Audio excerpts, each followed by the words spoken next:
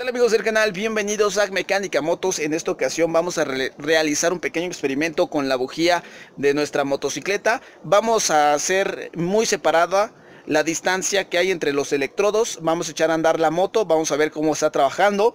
Después vamos a retirar la bujía, vamos a cerrar más la distancia entre los electrodos para ver cómo está trabajando también la motocicleta.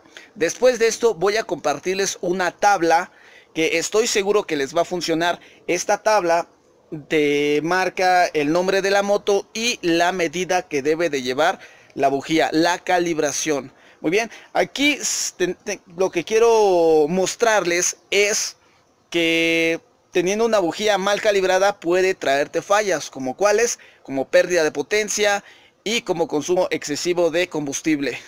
Vamos a retirar la bujía Quiero que la chequemos, por favor. Voy a abrir un poquito más la distancia entre los electrodos. Vamos a dar igual una pequeña explicación eh, cómo está todo esto trabajando. Ahí está, voy a echar a andar la moto.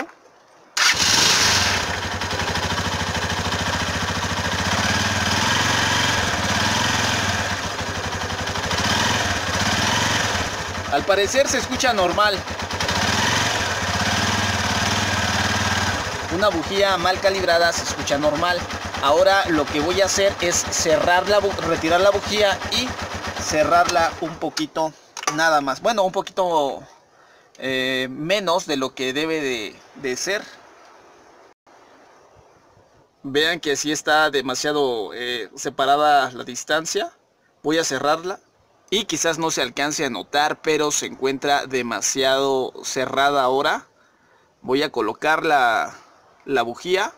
A ver qué es lo que pasa y cómo está trabajando la moto así. Ahí está, la coloqué.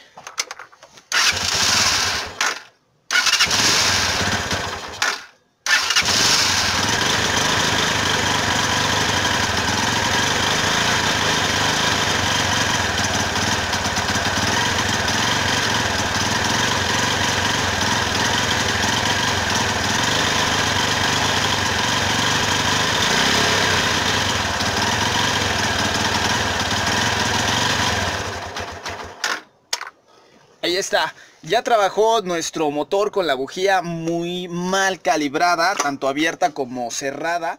Ahora es importante que nosotros tengamos la bujía bien calibrada porque pues puede suceder esto y no te puedes llegar a dar cuenta.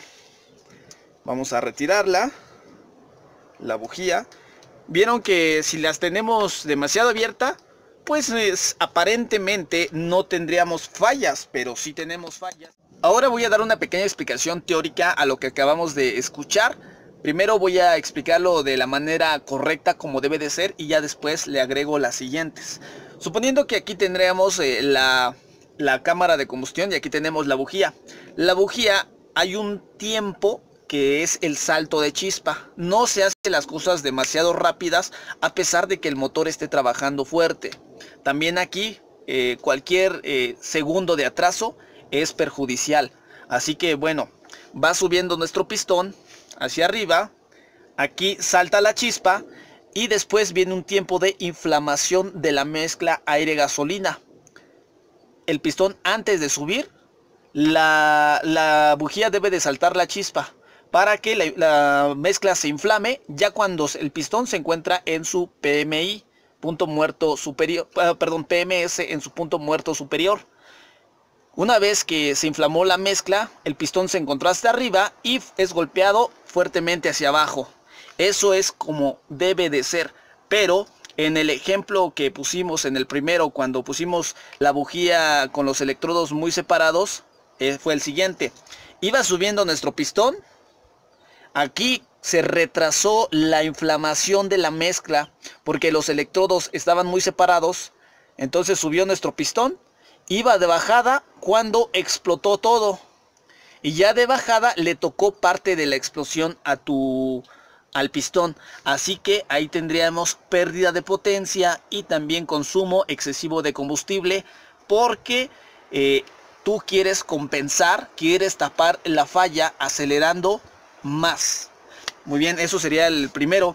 En el segundo, que lo pusimos muy cerrado, iba subiendo el pistón y antes de que subiera a su PMI ya había explotado la mezcla, ya se había inflamado y había explotado. Así que por eso tuvimos un pequeño desbalance muy notorio en nuestro motor. Se escuchaba ahí como un cascabeleo, como que algo estaba mal. Y como les comenté, un segundo aquí en tu motor es bastante, pero bastante eh, notorio. Y por supuesto las fallas eh, se notan. Así que ahora vamos a colocar la bujía como debe de ser. Vamos a calibrarla. Estas bujías normalmente tienen una calibración estándar en las motochinas. Si no tienes un calibrador de, de Lainas, te recomiendo que, que le pongas un, un este, una ceguetita que aquí adentro la, acomodes. Una cegueta con la que se cortan eh, el acero. Y pues aquí ya, esa sería la medida estándar. Yo aquí tengo el calibrador de, de Lainas, como lo conozcan está bien, ya puedo colocar la bujía sin ningún problema. Ahora vamos a ver la tabla que les estaba comentando hace un momento, la cual yo se la recomiendo. Vamos a buscar en Google la tabla de bujías NGK y nos va a dar esta, esta opción. Vamos a darle a clic aquí en tabla de aplicaciones NGK.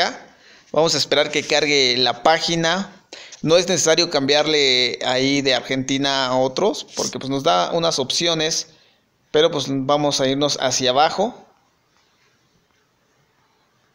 Y vamos a encontrar aquí, por ejemplo, eh, tabla, cables de encendido, a tabla de automóviles y aquí donde nos interesa, tabla motocicletas. Le vamos a dar clic y lo vamos a descargar. Ya una vez que la descargamos, aquí dice tabla de aplicación bujías de encendido y terminales supresivos. Vamos a ir bajando y vamos a ir utilizando. Aquí nos muestra cómo utilizar el catálogo. Dejamos que cargue un momento para que, la, para que se enfoque la, las letras. Por ejemplo, vean, dice, la primera dice identifique la cilindrada de la motocicleta. Y ahí te aparece la cilindrada. Después, eh, la ensambladora que es Honda. Identifica el modelo de la motocicleta el año de la moto, el código de bujías NGK, código de bujía de iridium, espacio entre los electrodos, terminal supresivo NGK. Bueno, pues ahí, ahí están estos, eh, esto para ir reconociendo. También hay un poquito de, de teoría de las bujías algo que pues es importante que lean, está bastante interesante. Y bueno, vámonos así y ustedes, vámonos hacia abajo y ustedes pueden ir buscando la moto que corresponda. Vamos a meternos aquí pues en Honda. Aquí trae bastantes de Honda y la tolerancia de las bujías.